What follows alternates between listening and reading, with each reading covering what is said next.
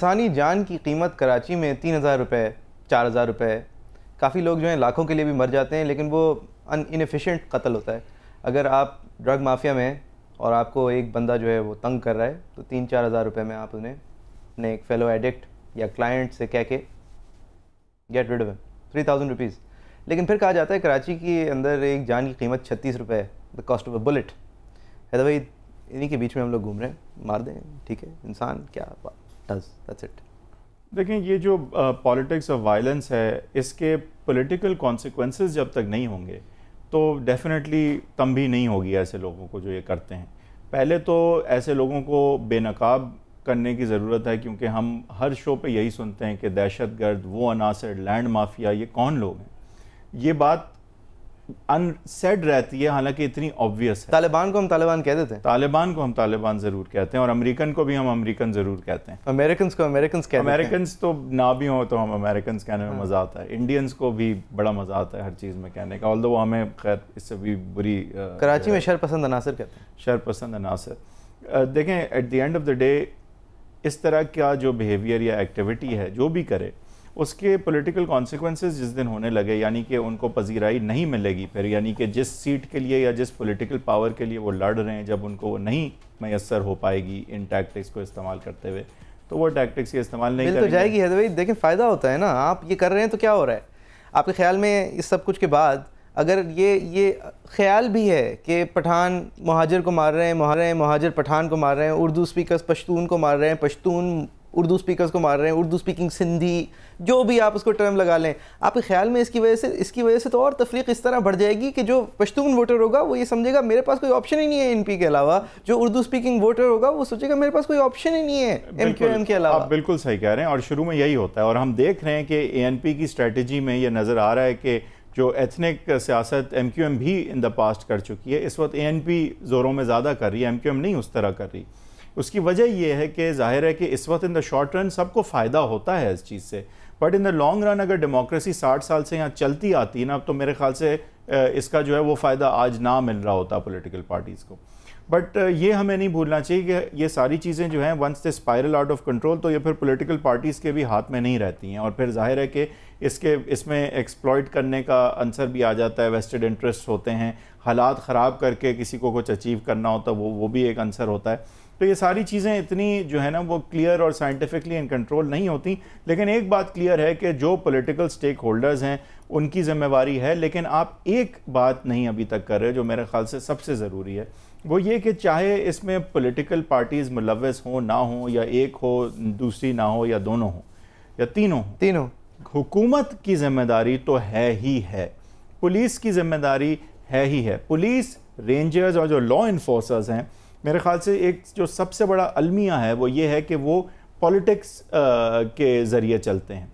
जिस दिन मोइज़ आपकी पुलिस ने आईजी सिंध ने अपने चीफ मिनिस्टर को या अपने किसी मिनिस्टर को साफ़ साफ़ ये कह दिया कि मैं ये नहीं करूँगा क्योंकि ये इलीगल है या कि ये मैं करूँगा और ये मेरा फ़र्ज़ है करना, ये मैं अरेस्ट करूँगा, इसे वगैरह वट मैं नहीं मसले के तहत रुक सकता, ये मेरी जॉब है। That is the day when the police will be divorced from the politics as has been envisaged by the police order of 2002 already. By पिछले IG was a dedicated officer ये वाले IG superiorly dedicated supremely dedicated officer हैं sweeping changes ला रहे हैं इन लोगों को आपको पता भी नहीं चलता ये लोग क्या कर रहे हैं जब तक ये जानी चले नहीं जाते और इनको भेजने के मकसद क्या होता है यही तो होता है इट्स अ पावर गेम देखें आप आई डोंट नो ये आईजी सिंह का मुझे नहीं इतना पता। मुझे पता है पर्सनली पता है। आपको अगर पता है तो बिल्कुल मैं आपकी बात मान सकता हूँ। लेकिन at the end of the day police जो है अभी भी चाहे ये आई जी सिंह जितने भी अच्छे हैं I think it has a long way to go before it can be completely politically divorce from the government of the time और ये आज की हुकूमत की बात नहीं है सिर्फ़। ये कॉन्सेप्ट जो है अगर अगर फॉर एग्ज़ाम्पल और ये एक ही तरह से होगा। और वो तरीका uh, जो है वो ज़ाहिर है कि एक तो कोर्ट्स का तरीका है। क्योंकि ज़ाहिर है ये इलीगल है कि पुलिस को इलीगल ऑर्डर फॉलो करे या अरेस्ट ना किसी को करे बिकॉज़ एक पोलिटिकल मसलहत है उसमें या वगैरह। लेकिन एक्चुअली ये चेंज उसी वक्त आएगा जब आवाम जो है अपना सर उठा के बोले कि भाई we want the police to protect us regardless of who is the government at the, the time and if the government cannot get the police to protect us then we will not vote for them ठीक है ना? ये शऊर जो है मैं आपको बताऊँ है क्या? आप ये कह रहे हैं कि हुकूमत ये शऊर एक आ जाए अवाम के अंदर कि अगर हुकूमत हमें हिफाजत नहीं दे सकती तो तो हम उन्हें वोट नहीं देंगे। एक सेकंड आपको पता है इस वक्त क्या है? बिल्कुल। इस वक्त ये है कि उर्दू स्पीकर कह रहा है अगर एम क्यू एम मुझे अ, मुझे प्रोटेक्ट नहीं कर सकती तो हम इनको आइंदा वोट नहीं देंगे। और पश्तून कह रहा है कि अगर ए एन पी मुझे प्रोटेक्ट नहीं कर सकती तो हम इनको आइंदा वोट नहीं देंगे। तो फिर वोट आपको मिलेगा क्योंकि कोई किसी को आजकल प्रोटेक्ट नहीं कर पा नहीं इस हद तक है भाई और वो समझते हैं कि हमें प्रोटेक्ट किया जा रहा है। प्रोपागेंडा क्या सामने आता है? पश्तून पश्तून को तो नहीं मार रहे। उर्दू स्पीकर्स को तो चाहे जितनी भी साजिश हो, मैं नहीं कहता ये लोग आपस में लड़ रहे हैं मुझे पास प्रूफ नहीं है ये कहने की। या कम अज़ कम मेरे पास टेलीविज़न पर कहने की इतनी प्रूफ नहीं है। लेकिन मैं ये तो कह सकता हूँ, मर तो रहे हैं ना लोग, और वो कह रहे हैं साजिश है, लेकिन लोग तो मर रहे हैं। तो if the people are dying तो उनकी तो बजाय इसके कि जो आप कह रहे हैं कि उनका कॉन्फिडेंस कम हो मिनेसुल कौम मिने पूरे शहर का कॉन्फिडेंस कम हो रहा होगा। लेकिन इंडिविजुअल पॉकेट्स में इस वक्त सिंध के जो लोग रूरल सिंध के कराची आए हुए हैं वो पीपल्स पार्टी को सबसे करीब देखते हैं अपने। जो उर्दू स्पीकर्स हैं वो एमकेएम को अपने सबसे करीब देखते हैं। और जो पहली बात है है वो एमपी को अपने सबसे वो। करीब वो देखते इसलिए हैं। डिफरेंट है क्योंकि एक तो मैं ऑलरेडी कह चुका हूँ कि शॉर्ट रन में ये ज़रूर होता है।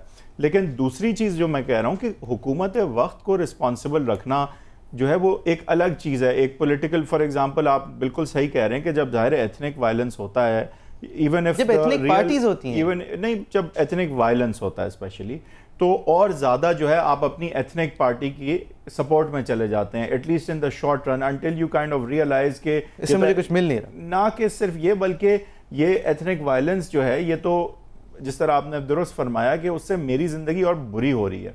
बहरहाल हम उस फेस पे अभी नहीं आए हैं आप ये सही कह रहे हैं। लेकिन मैं उस चीज़ की बात कर रहा हूँ कि एक सिटीज़न की हैसियत से, चाहे वो जिस भी एथनिसिटी का हो और जिस भी पॉलिटिकल पार्टी की आप बात करें, अगर आज उर्दू स्पीकर कह रहा है कि एम मुझे प्रोटेक्ट करे और अगर एक पश्तून कह रहा है कि एन पी मुझे प्रोटेक्ट करे at the end of the day उनको पता होना चाहिए कि अवलिन रिस्पॉन्सिबिलिटी उनको प्रोटेक्ट करने की हुकूमत वक्त की है और अगर हुकूमत वक्त उन्हें नहीं प्रोटेक्ट कर पाती तो उसका एक सियासी रद्दमल और कॉन्सिक्वेंस होने चाहिए। हम, आपने बिल्कुल जिस तरह ये बात डाइवर्ट कर दी टुवर्ड्स पोलिटिकल पार्टीज़ और ये हकीकत है जो आपने कहा कि ये एक्चुअली हो रहा है। लेकिन हम ये नहीं सोचते कि हम अपनी गवर्नमेंट को भी इसमें रिस्पॉन्सिबल समझें, क्योंकि ये गवर्नमेंट का काम है हमें प्रोटेक्शन देना। और अनफॉर्चुनेटली ये लॉ एंड ऑर्डर से सिर्फ़ प्रोटेक्शन नहीं मिल पाएगी। ये पॉलिटिकली जब तक ये मामला तय नहीं होंगे तो ये लॉ एंड ऑर्डर का सिर्फ़ इशू नहीं है और इसको सही तरह समझना ज़रूरी है हल करने के लिए।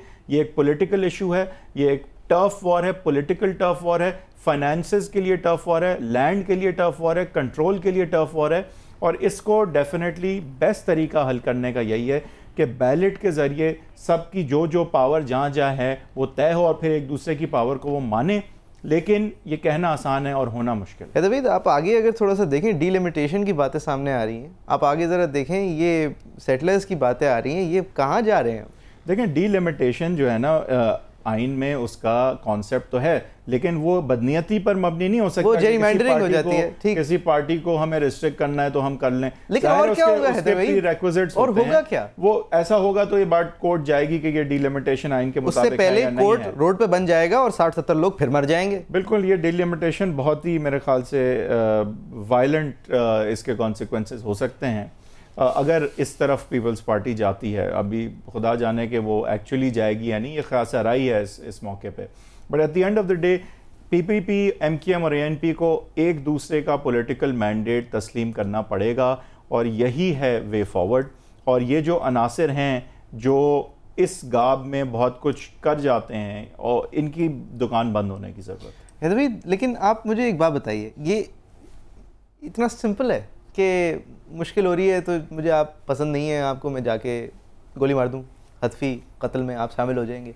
मुझ किसी को मैं पसंद नहीं हूँ तो उनको खबर मिली कि जी पेट्रोल पंप पे बहुत सारे लोग हैं बहुत सारे लोग जमा हुए हैं। एक तो हमारी आवाम की रिजिलियंस है हैदरवीद कि आप देखिए उनको पता है कि हालात ख़राब होने वाले तो ये चेक लिस्ट पूरी बनाई हुई है है जी। सीएनजी भी डालेंगे पेट्रोल भी डालेंगे खाना भी जमा कर लेंगे बच्चों के लिए खाना भी हो जाएगा डायपर्स भी मिल जाएँगे सब कुछ हो जाएगा एवरीथिंग चेक कर लो इंटरेस्टिंग डिबेट है मोइस कि क्या मीडिया जो अब इतना हाईलाइट करता है चीज़ों को। तो वो क्या डिसेंसिटाइज आवाम को उस हद तक तो नहीं कर रहा कि अब इन चीज़ों का असर कम होता जा रहा है क्योंकि पहले होता था कि सुसाइड बॉम्बिंग हो गई बीस लोग मर गए अब तो कोई फ़र्क ही नहीं पड़ता 20 लोग मर गए? बीस लोग मर गए तो क्या बस बीस लोग मर गए। में से ना हो बस हाँ। तो ये ऑल्दो मैं समझता हूँ कि इस वक्त आउटरेज क्रिएट करना बेसिकली मीडिया तो जो है वो मिरर रिफ्लेक्शन है ना वो जो, जो हकायक हैं ये कोई झूठ तो नहीं है कराची में जो ये हो रहा है वाकई लेकिन इसका ये असर भी होता है कि लोग फिर डिसेंसिटाइज भी हो जाते हैं। आ, लेकिन मेरे ख्याल से आवाम को डिसेंसिटाइज होने की जगह एक आउटरेज फील करना चाहिए कि ये क्या हो रहा है क्यों हो रहा है कौन कर रहा है और obviously they should demand answers है तो मेरे ख्याल से मेरे ख्याल में जब इतना बड़ा लैक ऑफ़ इतना बड़ा फॉल आउट होता है कि इंसान अपनी जान और माल को का तहफ़ तो दूर वो अपने मिनट बाय मिनट अगर अपनी ज़िंदगी गुजार रहा होता है अगर मैं रोड पे निकलता हूँ अगर आप रोड पे निकलते हैं तो हमारी रूट्स फिर भी इतनी ख़तरनाक नहीं होंगी।